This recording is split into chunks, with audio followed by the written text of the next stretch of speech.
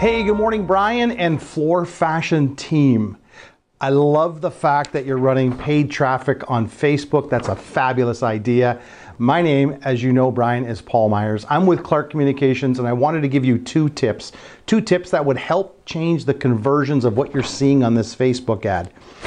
But before I go there, I want to congratulate you on running Facebook ads because most people don't understand the power of a Facebook ad and what you can do with it. It's kind of, it's kind of called interruption marketing, where someone's scrolling their feed and they see a cool ad and they stop and they either engage with it or they don't. But what I want to show you is something and a better way to get better conversions. So currently you're using a Facebook ad strategy, great idea. What I would suggest you do is take that ad and now send the traffic to a landing page, not to your website where they can get lost in all of the stuff that you have on your website. Send them to a specific page that deals directly with the uh, flooring special.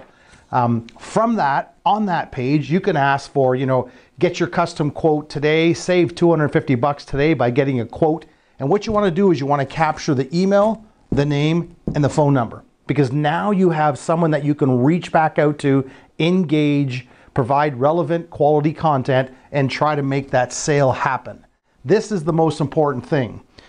Right now, it's currently static. When you try to click on this ad, it goes nowhere. So you're really missing a big opportunity to get more conversions and to maximize the dollar. The second most important thing is now that you're running paid traffic, you must install a Facebook pixel uh, on your website.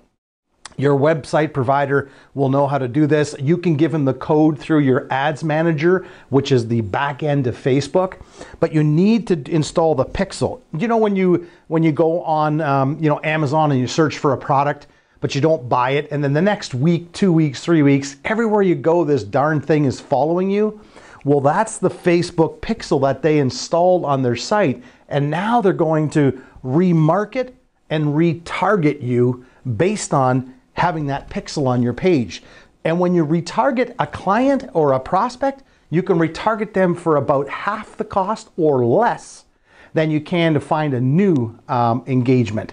So it's a very, very, very powerful strategy that you're going to want to implement. But the first part of that is paid traffic, send them to a landing page, and then capture their information. So we do this across many different niches. Uh, we know how to get conversions up and costs down, but those are two things I just wanted to give you that you can do yourself and uh, you can change the outcome of your campaigns. Again, thank you, Paul Meyers, Clark Communications. Have a great day. Bye bye.